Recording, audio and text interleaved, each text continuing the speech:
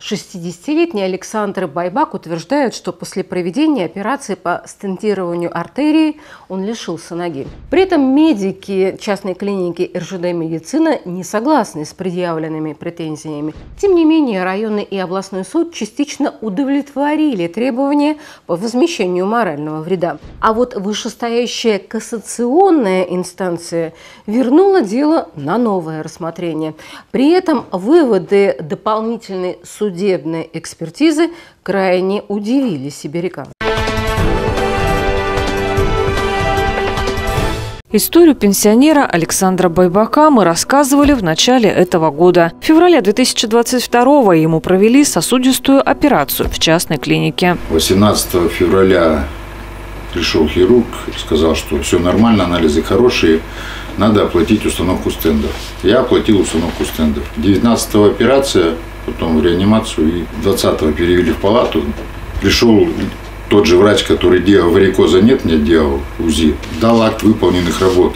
Пациент с удивлением обнаружил, что стенд, который он оплатил накануне, ему так и не установили. При этом стоимость услуг почему-то стала выше.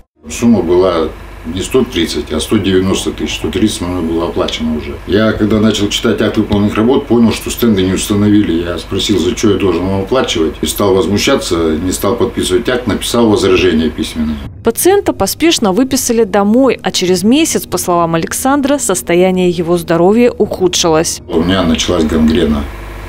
Началась, ампутировали первый палец, мизинец. Ну и дальше больше все вот эти осложнения пошли. Потом еще один палец, еще четыре операции в течение года перенес. Ровно через год, получается, 31 марта 2021 года ампутация ноги. Но я уже не мог терпеть эти боли целый год.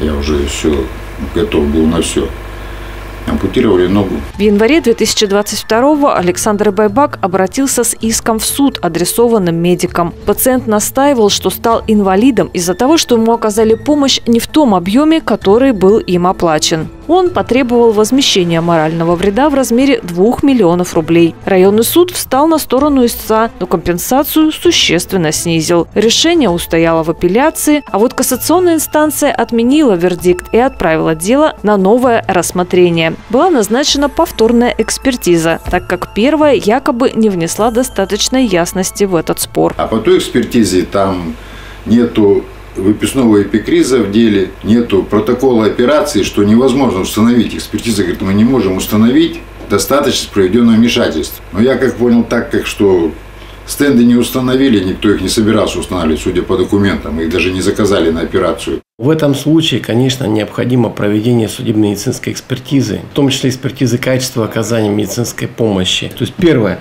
нарушение со стороны э, медицинских работников, которые проводили вот эти манипуляции, э, протоколов существующих, да, то есть определенного установленного порядка осуществления медицинских процедур, в том числе операций хирургических.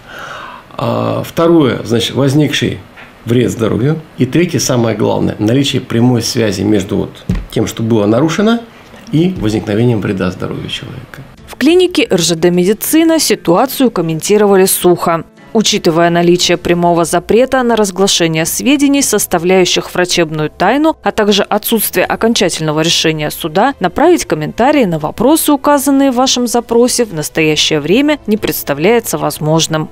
Спустя полгода Санкт-Петербургское бюро судебно-медицинской экспертизы наконец прислало в Новосибирский суд новое заключение. В нем эксперты отметили, что медицинская помощь пациенту была оказана в полном объеме и в соответствии с нормативами. Изучив выводы экспертиз обоих, первый и второй, я просто пришел в недоумение первой экспертизе пишется, что из текста протокола операции невозможно установить достаточность проведенного вмешательства, так как в протоколе не указано то-то, то-то, то-то. Пришла вторая экспертиза. В ней указано, что выполнена география, окклюзии, проведена реканализация, что все это сделано. Я вот не пойму, как можно по одному протоколу, находящемуся в материалах дела, две разных экспертизы, два разных результата. Следующее судебное заседание по этому делу назначено на декабрь. Однако теперь лишившийся ноги сибиряк сильно сомневается в исходе спора с врачами. Я понимаю, что, как говорится, медики не признают свои ошибки, что такое, как говорится, понятие «рука руку моет», но не до такой же степени у меня в голове не укладывается, как по одним документам, одним и тем же документам можно два разных вывода сделать.